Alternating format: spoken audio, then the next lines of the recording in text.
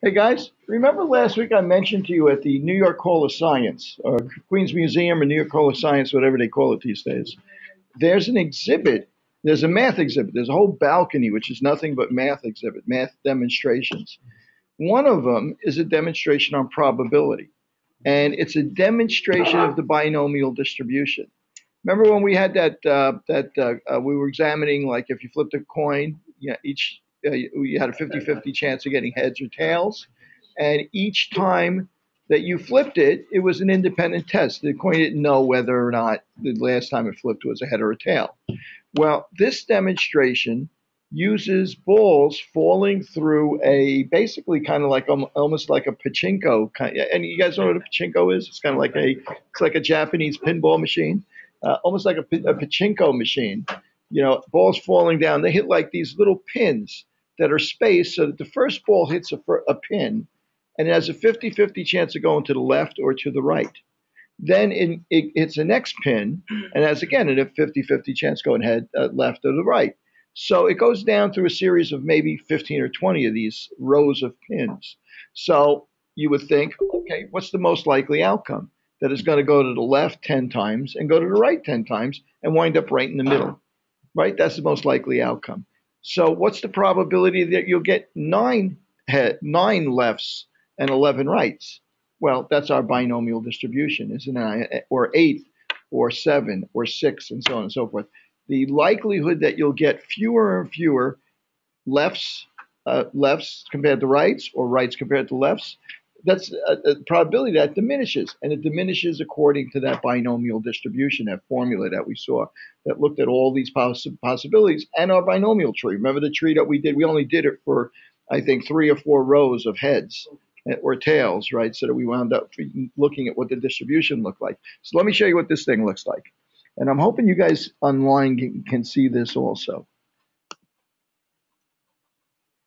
Okay. Okay, here you go. If you take a close look up there, you see the pins hitting that top pin, going to the left or right, and then as they as they um, uh, continues down, hits uh, it continues down, choosing left or right, 50-50 chance of each. And as we scroll down to the bottom here, or pan down to the bottom, we can see the outcome of this, right? And there's our distribution, right? Pretty amazing, right? That is called the Galton machine. It's named after a guy by the name of Sir Francis Galton. He's a pretty interesting character. He, he uh, in addition to pioneering work in probability, he also invented the first weather map. And I think he developed the first uh, method of uh, categorizing fingerprints and a few other things. And he invented the field of eugenics, for which he's a little less popular than for the other things. You know, so and and, and uh, his his research I think was one of the bases for it was kind of a twisted version of his research, but for the Nazis in Germany, I think he was German. Francis, no, I guess he must have been English. Francis Galton, right? So at any rate, so he's a mixed bag, but he, he was actually he was really a brilliant guy. So if you ever get a chance to look up a little bit about him, but that's a, a real demonstration of a true binomial distribution. So moving on, uh, as I mentioned to you guys that were here uh, at, at school, uh, I plan on doing a review of the homework later on in the week. I'll post a time for it. Maybe I'll, we'll spend an hour going over the homework problems, particularly binomial distribution, and applying it using Excel or whatever other tools that we have, because that seemed to be one of the things that caused some confusion, or at least what I got a lot of questions on anyway. Okay, so I'm going to get started for tonight. So tonight we're looking at sampling and the central limit theorem, right? I'm not sure it's, I guess it's a pretty good description. I, am I'm not in love with that name, but we'll play around with it.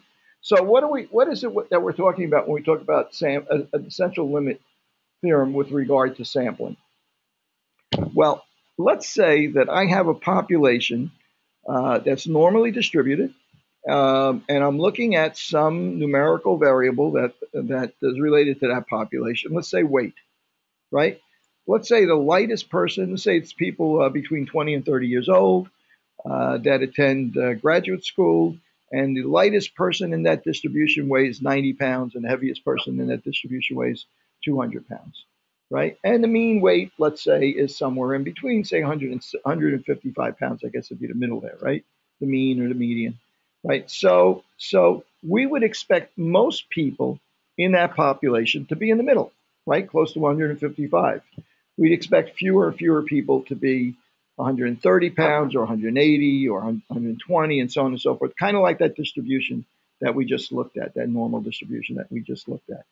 Okay, so now my problem is is that that population, I want to know what the average weight and what the variability of of the uh, uh, uh, uh, uh values of for weight in that population are.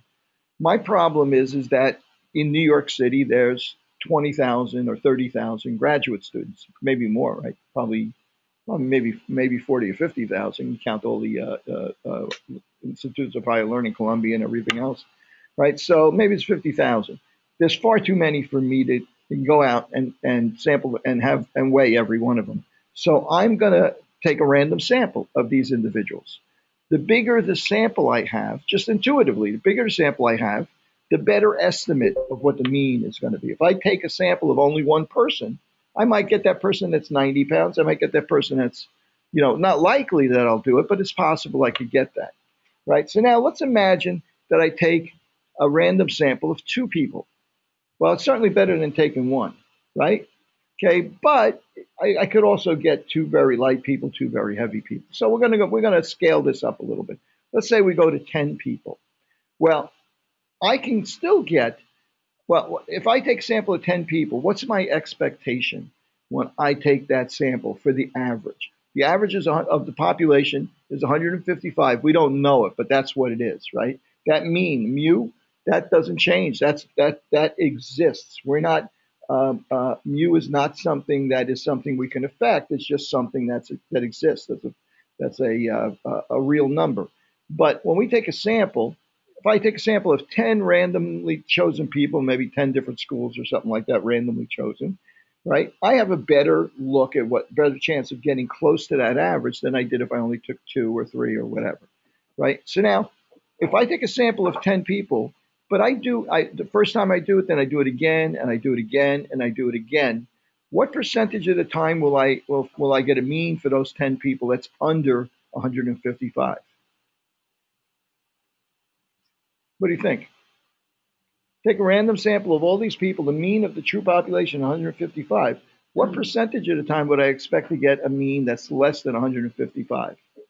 Yeah, half the time, right? Half the time I'll get an average under 155. Half the time I'll get an average of over 155, right? Um, now, when I look at, if I take a lot of samples of size 10, right? And I then take all of the results of those averages, just the average of for 10 people, and I take all of them and I make a new distribution out of it. Is that new distribution the same width, wider, or narrower than the population is? What do you think? Think it's the same? No, because because when we take an average of 10 randomly chosen people, we're, not going to get we're not going to get an individual that's 90 pounds, right? We're going to get 10 people. Even if we get 10 people all from the low side, the average might be 120, 130. So that new distribution of all of these samples of size 10 is going to be narrower than the population is. And the bigger the sample is, the narrower the new distribution is. The distribution I'm talking about, this new one, is all the possible outcomes of a sample of size 25 or a sample of size 50 or a sample of size 100. All the possible outcomes that you might get. Well, why are we even interested in that? Well, the reason why we're interested in that is because by understanding these properties of what's the probability of getting something that, how does the sample size affect how accurate my sample is, whether it's less than, greater than, what's the probability of it being far away from the mean, well, by understanding that, I get a better feeling for how accurate my sampling is. Okay, if I, you know, otherwise I wouldn't have any measurable way to predict. I would know, gee, uh, uh, I do know that I'm better off taking a sample size of 50 than a sample size of 10, and I'm better off if I take a sample size of 100, but I wouldn't have any way to really quantify that. This is going to give us the opportunity to quantify this. Okay, so the first thing we're going to demonstrate is we're going to demonstrate the idea that if you take repeated samples from a population, the mean is going to be the mean of all of those samples that you take, right? If you take those sample means and you and you average all of those, it's going to be close to the mean of the population. But the variability, the standard deviation, is going to be less than the standard deviation of the population. So right here behind me, I have a, uh, uh, a table. Can you see it up there? Is it visible behind me? Yes. This is from a document that's in the uh, that's on Blackboard. Yep.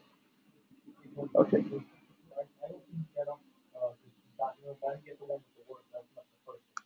Okay, that's good too. I'm going to open that myself. Matter of fact, now that you mentioned, I'm going to open that. I, I was just about to mention that in, in addition to this uh, this document, um, uh, was it called PH 750 lab exercise for tonight? 3.8, I guess tonight's 3.9.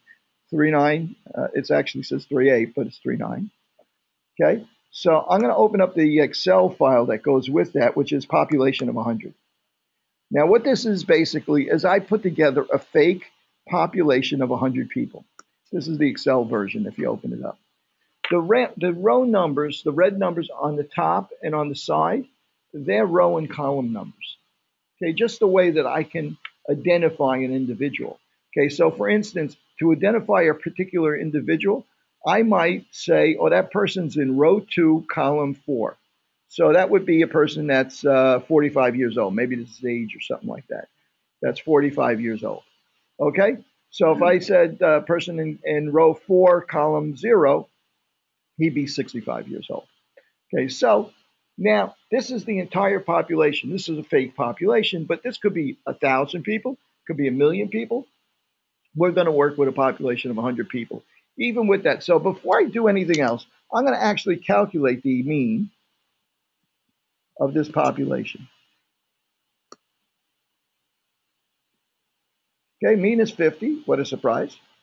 And I'm going to calculate standard deviation. This is not any, this is not an accident. I played with these numbers a long time to make them work and the standard deviation is nine. Actually, it's not. It's, it's eight points. It's a. Uh, it's not exactly nine, but I have these numbers rounding off a little bit. Okay, let me make sure guys online. You guys online can see this. Oh, we're gonna get Emily. We're about. We're gonna. We're gonna. We're gonna get to that. We're gonna get. We're gonna demonstrate that right now. Okay, this is the population that we have that we're dealing with right now. It has the population has a mean that we don't know. I just did this so that, you know, like, so that we have some background on this population. Let's assume that we don't know that the population mean is 50 or that the population standard deviation is 9. Well, what does that tell us? That tells us that uh, 68% of the population is uh, uh, between the age of 41 and 59. And 95% is between the age of 32 and uh, 68 and so on, right? Okay, so now I'm going to make believe that I'm going to take a random sample of size 9 from this population. Now, how are you going to do a random sample? Anybody got a proposal on how to do a random sample? Yeah. Maybe take a couple of representative points over there. Oh, uh, you mean like, you know, close your eyes and kind of poke at them and stuff like that? that works. That works, but that's you know not the most professional way to do it, but that works, right? I mean that's you know for, you know unless you you know the only problem with that is if you're right-handed, you're going to be heavy on the right side, or if you're left-handed, you're going to be heavy on the left side. But but that's a good that's a good idea. Randomly sampling out of this population. In some cases, when you're doing stuff, when you're just jumbling stuff up, you're almost doing that anyway. However, there's a couple of methods that we can use to get ran, real random numbers. There are many statistical tests Levi, do you know, but does, does the, does the uh, online textbook have a random number table in the back? I mean, they almost always do. I'll bet you it does, right? Okay, I, I took one out of uh, the other textbook that we use uh, frequently. Uh, but if you open up another document, uh, where is it? Let's see. That I uploaded. It's called Random Number Table. Okay, and this is an appendix from one of the textbooks. Okay, and there you go, table number one. I'm going to blow it up just a little bit so we can see it a little easier. Okay, these numbers are randomly generated. They might have used a computer to do it. a little illogical, right? Getting a number to a, a, computer to do random numbers, but there are ways, techniques to do to use it.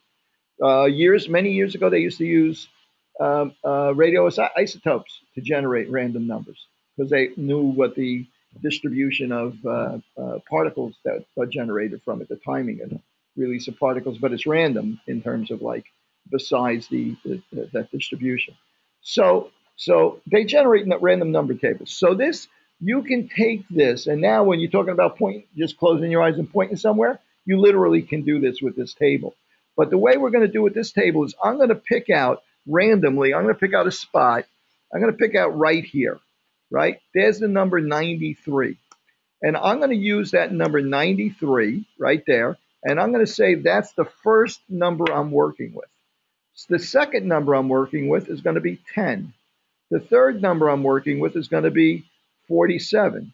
The next number is 84, 83, 72, 71, 76, 87, 14, 18. See, they're kind of random. Now you can pick out your own series. You're going to pick out nine. You're going to start somewhere, anywhere you want.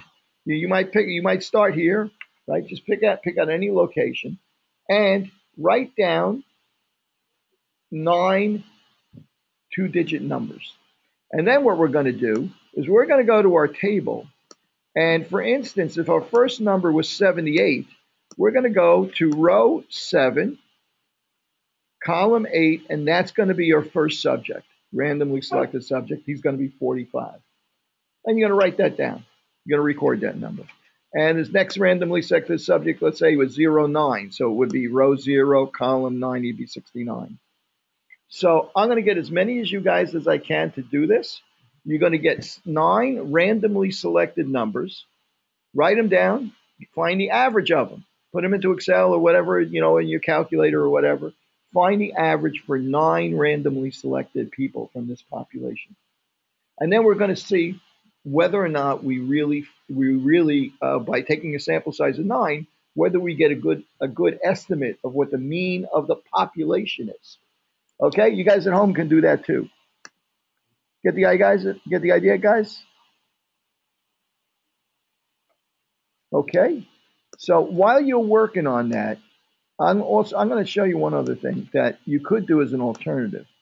There is a random number generator in Excel. And the way it works, I'm going to make this even bigger.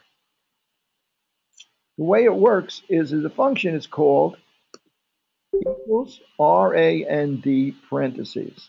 Notice that when I put the parentheses in, there's no uh, uh, uh, parameters that I have to put in there after that. It's just, it's just closed parentheses, right? If I hit enter, it gives me a random number, right? That's randomly generated number.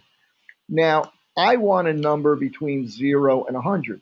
So I'm going to tell it, multiply that by 100 equals this times 100. That randomly generated number times 100. Hit enter. Okay, now my randomly generated number is 31.6, whatever. I only want a two digit number, so I'm going to tell it to round that number. R O U N D, parentheses, and it'll create a round number of this digit. That's the number I want a round number of, and I want zero decimal places. So I'm going to put zero in there, parentheses. Yeah, so my round number is, is, is uh, 45. I put I put in um, um, round equals C1, comma, 0. In other words, a number that I'm, I'm rounding by to, to, to no decimal places, comma, 0 for no decimal places. I'll do it again.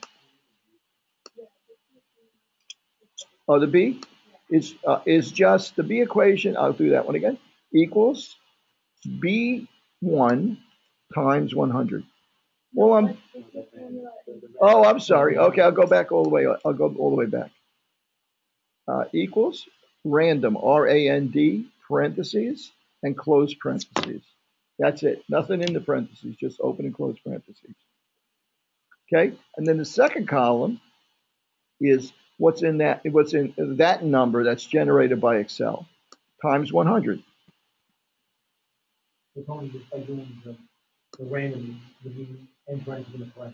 Right. It'll just generate a random number between zero and one. Okay, and then I'm going to round that number to two decimal to uh, uh, no decimal places. So I'm going to C1, right, comma zero for zero decimals. Okay, so now one of the annoying things about this is every time you do an operation, Excel it uh, redoes these numbers. Okay, recalculates all the numbers so that whatever random number you have gets changed. Now I'm going to highlight these. I'm going to go down to cell 9 from row 1 to row 9, and I'm going to say fill down. So it repeats these calculations. Uh, but you know what happened? You're, uh, you're, uh, uh you want to highlight that column. If you get if you get zero, you want to highlight the columns, and you go into Format Cells and change the decimal places that you want for that set for that particular cell. Okay, actually, you should probably only do it clearly. You should only do it for the first two because we're rounding the third. We're doing it ourselves for the third one. Okay, in other words, format cells and tell it not click number and then tell it how many decimal places. I'll say three for argument's sake. Um, it, it's either in the um, on your uh, uh, uh, on the uh, ribbon at the top uh, where you can change the decimal places in the cells, or it's under it's under format. You should have a uh, go to format, choose numbers, number, and then tell it how many decimal places you want. Okay, Do you see it behind me? Yeah. Okay, okay, good. All right, but that you could have, you didn't have to do that because it would have rounded it to, it would have done what we needed anyway. It's just that those digits were hidden from you.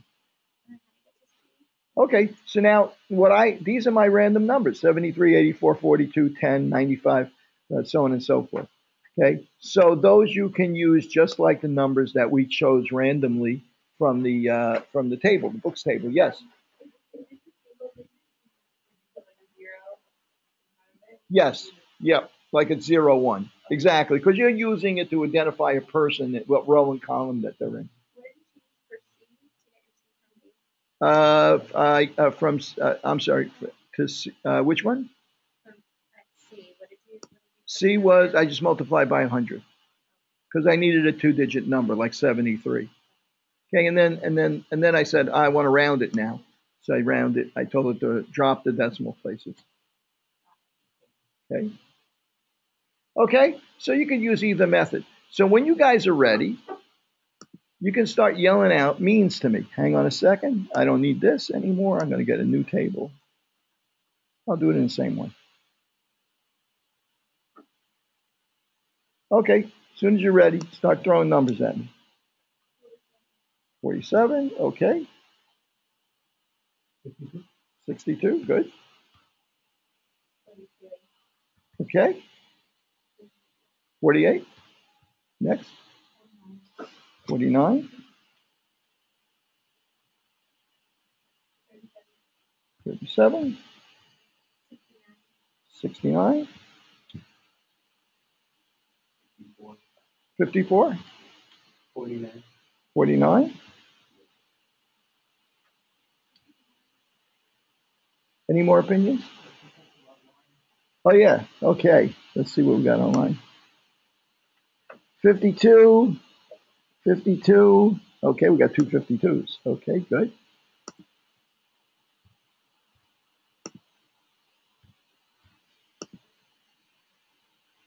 Okay. I'll wait just one more minute. Maybe we get a couple more. Wait, we got three people online. Oh, two people. Okay. Emily got a 52. 49 and 45. Okay. Okay, I think that's enough. 49 and 45. Okay, so now what I'm going to do is I'm going to find the I'm going to make believe that those sample results is a new distribution, a new normal distribution. And I'm going to find the average of my sample results. Now, some of these individual samples were pretty far off, 37, 69. They're pretty far away from the 50. But let's look at, look at the average for all of these numbers. Well, the average is 50. I got almost the same thing. That, that's a lucky coincidence. I literally got the same average as the population, right? That's not always going to happen, obviously, right? Let's try the standard deviation. What do we expect for the standard deviation? Is it going to be the same, bigger, or smaller? It's going to be smaller because the numbers are more compact than the population is by virtue of each one of those numbers being an average, right? So I'm going to take standard deviation up That's not good. Is that true? I'm not happy with that. Um, well, that's disappointing. The mean is great. The standard deviation is a mess. Well, let me tell you what's supposed to happen. that's, that's the trouble with doing this live instead of faking it. So, at any rate, what's supposed to happen here? What do you think the standard deviation should have been? If I really, if we just keep kept doing it all night long, right? The standard deviation for the sample distribution would be smaller because it's narrower, right? We're not going to get the smallest value in here. How'd you get 33? There are no 33s. Something's wrong with that number. Huh? Yeah, but how'd you get an average of 30? Oh, there's a 32. Oh, it is a 28. It is a 28. You're right.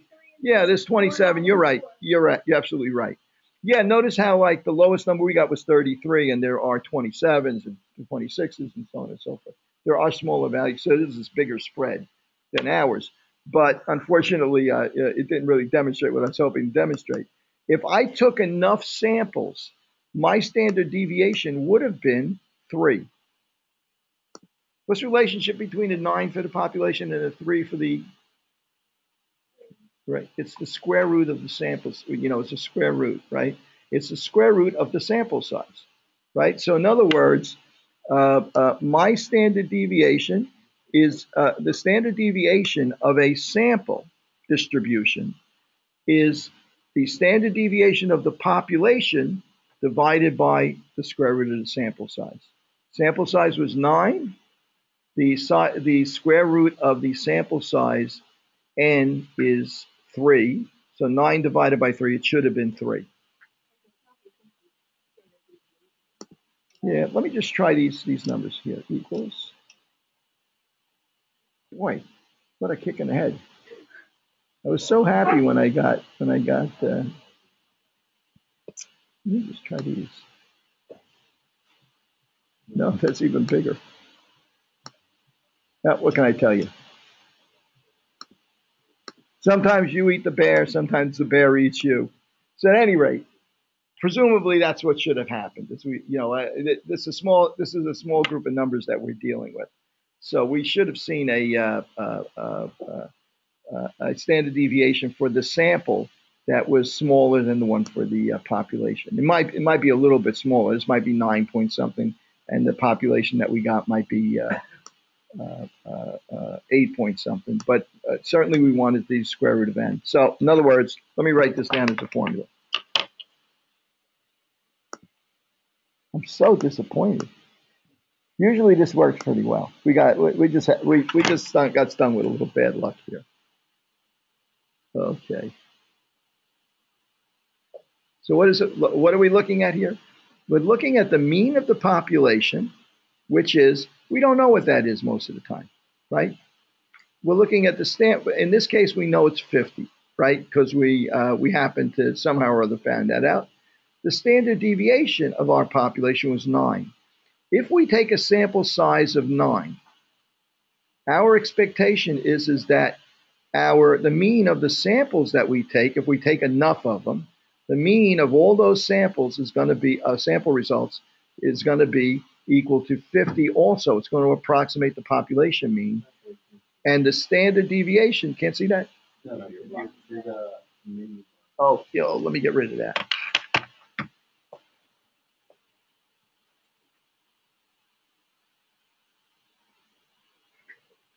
The standard deviation for the sample distribution is going to be the population standard deviation divided by the square root of the sample size. So our expectation was that if we take enough of these samples over and over and over again, take it hundreds of times, thousands of times, right, that eventually the standard deviation of this distribution for the population is going to be uh, 9, which is the population standard deviation, divided by the square root of, well, in our case, it was the square root of 9, which is 3, so it's going to be equal to 3. Now, if this, if the popula- if we had taken a sample of size 25, what would the standard deviation for the population for the sample means be? Be, be 9 divided by the square root of the sample size is 25. It's going to be 9 over 5, right? So the bigger the sample size is, the smaller the standard deviation of the sample distributions.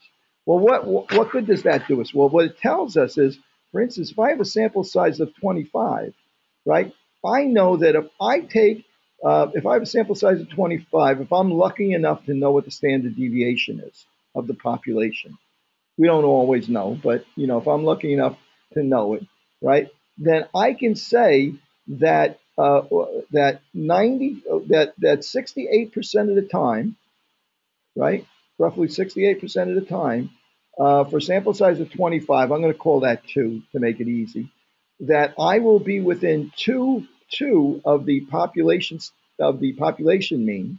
I'll be within four on either side 95% of the time. Right? I have an idea how likely it is that I'm going to capture the population mean, how far off I might be. We're going to be using this as a tool later on to do something called a confidence interval to predict if I take a sample of this size, well, I have a sample. I know what the mean is. I don't know what I don't know what the population mean is. What range should I call a 95% range of confidence where I can say I'm 95% sure that although the sample mean I just took was 100, I'm 95% sure that the true population mean is between this number and this other number. That there's, I can give a range that I have a 95% level of certainty of catching the true population mean. Why is that important? Because whenever we take a sample, if all we know is a sample result, we know that, gee, that's probably an estimate of the mean, but we don't have a way to quantify the, how certain we are of how close to the mean we really are. So this gives us an idea of how samples work, how samples can be used to predict the population mean and have some level, some idea of what level of error that we should expect, mostly dependent on the sample size. Okay, so let's give this, a, let's apply this a couple of times. So I think I have a couple of examples here.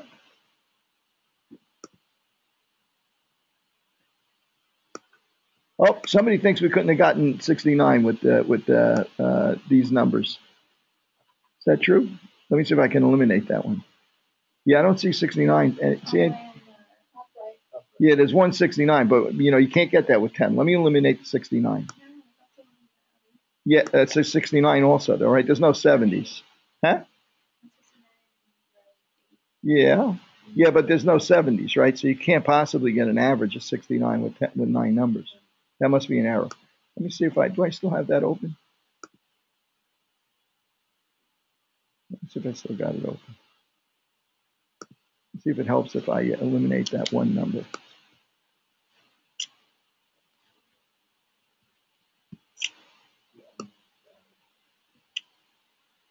Uh, 69. Let me get rid of that number. Oh, helped a little bit, right? Not much, but threw, off my mean a little bit also. But you get the idea. If we had done this with enough numbers, right, then then uh, we should have got we should have seen that relationship. In fact, I think next time I do that, I'm going to make everybody do a, a, a sample size of 16 because uh, I know it's going to work a lot better with sample size of 16, right? Because that's going to be a narrower standard deviation. Okay, so at any rate, I don't want to I don't want to beat this to death. You'll have to trust me that this is really true. Okay, so let's take a look at a couple of examples here. Okay, total cholesterol values for a certain population are approximately normal, with uh, normally distributed, with a mean of 200 milligrams per 100 milliliters and a standard deviation of 20. Find the probability that an individual picked at random from this population will have a cholesterol value between 180 and 220. What are we talking about here? Population or sample? We're talking about population, right? Doesn't say anything about sample. It says total total cholesterol, certain population. So this first example, we're not dealing with samples. We happen to know the entire population. Unlikely situation, but we this is what we've been working with up till now. So I'm going to get a fresh sheet over here, a fresh normal distribution and I'm going to say, okay, the mean is 200 and the standard deviation is 20. mean is 200, and the standard deviation is 20. Here's 200. Okay, and the first question was, uh, what's the probability, find probability individual picked at random will have a value between 180 and 220. That's one standard deviation below and one standard deviation above. What's the probability they'll be in here? 68%, right? The empirical formula, right? I don't think we use that name. Did we? Is that the first time you're hearing that? No, okay, we did use, right, refer to it that way. Okay, between 160 and 240. Right, 160 and 240. What's the probability that that the result uh, would be between 160 and 240? That that a, a, an individual would be between there and there, or that uh, percentage of the population, right? 95%, right? Two standard deviations below, two standard deviations above. Uh, greater than 225. Okay, 225. This is 240. 225. This is 220. 225 is going to be about here. So we're talking about this area here, greater than 225. Okay, so how am I going to get that value? Well, I have to know what the z-score is for that value, right? z is equal to x minus mu over standard deviation, right? 225 minus 220 over, uh, I'm sorry, minus 200 over 20, right? 25 over 20 is 1.25, right? That's our z-score, right? So now how do I figure out what area that is? Go to the table or go to your, go to your, uh, uh, uh um, your uh, Excel or go to Excel, either one. Right? I got. I think I have a Z table here handy. And if I look over to 1.25, 1.20, 1, 2, 3, 4, 5. Right, where's 5? There's 5 right there. 89.44. I can call it 89.5. Okay. Let me get that out of there. 89.5. That's the area. If you look at the uh, at the little chart that goes with that, that's the area to the left of that z-score. I want the area to right. So this is going to be 89.5. And that leaves, what does that leave for that? That leaves 10.5%. Okay, everybody comfortable with that? Okay, what's the next one? Uh, less than 150 milligrams. Okay, 120, uh, 160, so that's going to be way down here. 100, did I say 150? 100, less than 150, yeah, that's going to be way down here. It's going to be this area in here. And what's the z-score for that? Z is equal to, oops, is equal to x minus mu over sigma. is going to be 150 minus 200 over 20. And it's going to be minus 50 over 20 or minus 2.5. Our z-score now is minus 2.5. So I'm going to go back to my table. Now this time, the, the area where you're going to deal with is to the left of the z-score, which is the table is already set up to do. So minus 2.50 is about 6%, uh, is 6 tenths of a percent. So I'm going to call that, okay, I'll call that roughly 6 tenths of a percent. I'm going to cheat a little bit and just call it 1% to make it a little easier. This is 10.5, this is 1%. And last question is, uh, uh, I'm going to change that question because uh, I want to get through this quickly. Uh, what's the probability that a randomly selected individual would be, be uh, would be between 150 and 225? Well, the probability that they're going to be between 150 and 225 is the area in here. 10.5% is excluded at the top, 1% is excluded down here. That's 11.5%. So that leaves what percentage of the people in between? Yeah, 80, I guess 88.5%. Right? So that's simple, right? Nothing's changed over what we did for the exam, what we did on the last homework, and so on and so forth. Now, things are about to change right now. Yes. Sure the z-score for negative 2.5 at 0.002. Yeah. Uh, no, no, it, a point zero six two would be six percent. Okay. Right. Anything less than 0.01 is less than one percent. It'd be six tenths of a percent. Right. Just move it tw- two zeros, right, to get the percentage. Okay, great. Okay, so at any rate, okay, so now let's let's take a look at this. Let's say we don't know what the population is, uh, population mean is only population standard deviation from the sample from this population. A sample of 25 is taken from that population. What's the probability that the mean of this sample is larger than 204? Okay, well, let's take a look at this. Okay, so now my this is a distribution not of the original population, but this is a distribution of all the samples, all sample averages for n equals 25. Right? So if you had taken every possible sample that you could get of size 25 from this population, this is a distribution of all those outcomes. What do you think the mean will be? What was the mean before? Right. Uh, what was it? 200 was it? Yeah, it's 200. You're going to get the same mean, right? Half time you get a sample below, half time sample above. The average is going to be below. Okay, what's the standard deviation of this uh, of this uh, all these samples? Right now we're talking about X bar sample means, right? And we're talking about S or SD for standard deviation. Okay, so what is the what is the standard deviation going to be equal to for this distribute for these repeated samples of size 25? It's going to be equal to sigma over the square root of the sample size. So the standard deviation is not going to be 20. It's going to be 20 over the square root of 25, which is 5. Standard deviation is going to be 4. Right? So now, what's the probability if we take a random sample from that population of size 25, what's the probability that the mean of that sample is greater than 204? Well, 204, this is 200. Standard one standard deviation is four, so 204 would be one standard deviation above the mean. Right? So what's the probability that we'd be up in here? Right? So what is the z-score here? The z-score here is going to be equal to x minus x bar oh, uh, minus uh, uh, uh mu, which is 200, over uh, uh, or x bar over 4 instead of over 20 as it was before. So 204 minus 200 is 4 over 4, right? Or 1, z-score of 1. So the probability that you would get an outcome that was higher than uh, uh, um, uh, uh 204 for your average of 25 people is roughly 16%, right? 4.16. That's a lot different than when we just looked at the individuals in the population right? 16% before represented a value of 220.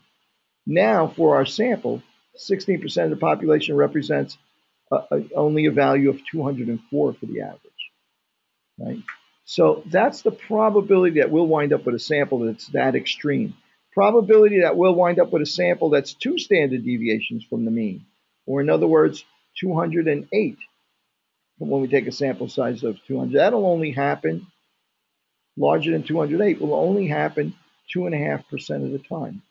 How do they get that 2.5%? Well, that's two standard deviations above the mean. Two standard deviations below the mean would be 8 below. This is 95% of the, of the outcomes. Here, so that leaves 5% uh, total on the, uh, on the two tails, 2.5%. On the high end, 2.5%. On the low end. So you have a 2.5% chance of getting a sample as extreme as 208 or larger, or as extreme as 192 and lower. Right?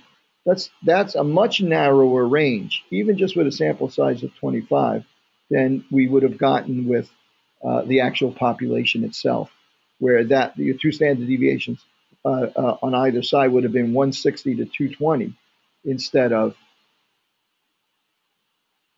192 to 208.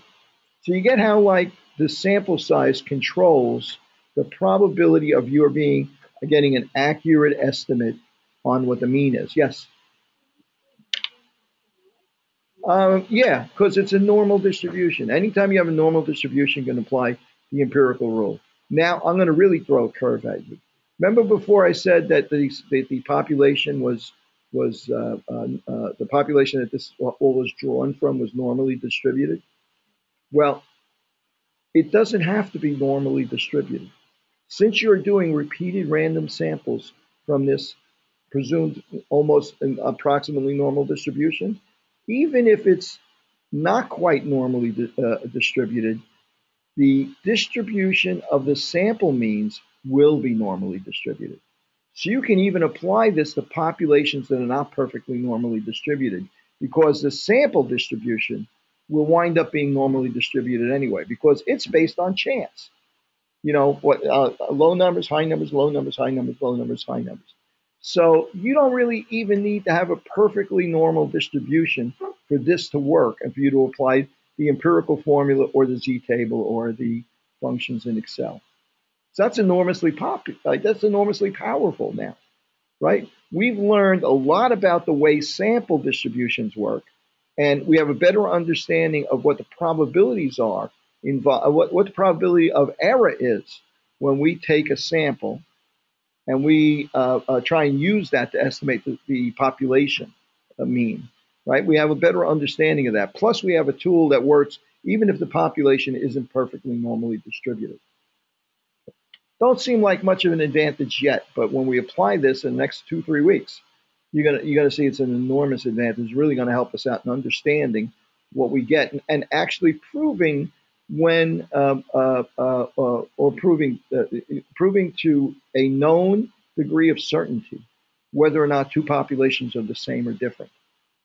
Right? If I don't under, if I don't have an understanding of sampling like this, then if I take a sampling of uh, let's say this is cholesterol, cholesterol levels for for uh, for a sample size of 25 Americans versus 25 Frenchmen, right? Well, if I get a mean of 190 for Frenchmen and a mean of 200 200 for Americans, right? I need some way to to understand what's the probability of that difference being due to chance. What's the probability of that being due to a real difference in the cholesterol? And this is going to help us determine what the probability is that that difference is really due to, you know, a real difference rather than a chance. Yes. The question is that I asked you from the sigma over. So that you said number one, can we use for when you have a sample population. Right. So it's kind of bringing these, I don't want to say ambiguities, these things far away together, right? It, yeah, exactly. In other words, it's it's it's defining for us how this distribution, how the sample distribution compares to the population distribution, and it's going to be narrower and narrower compared to the the population distribution based on the sample size. Okay, so let's continue on a little bit. Are we done? What what time we have now? Okay, good. All right. I'm losing track of time here. Okay, good. Well, oh, yeah, it's early yet. Okay, good. We got plenty of time. I got a little worried there because I, I don't remember. I don't. I have no idea what time we started. Okay, let's continue with this. Uh, da, da, da, let's see.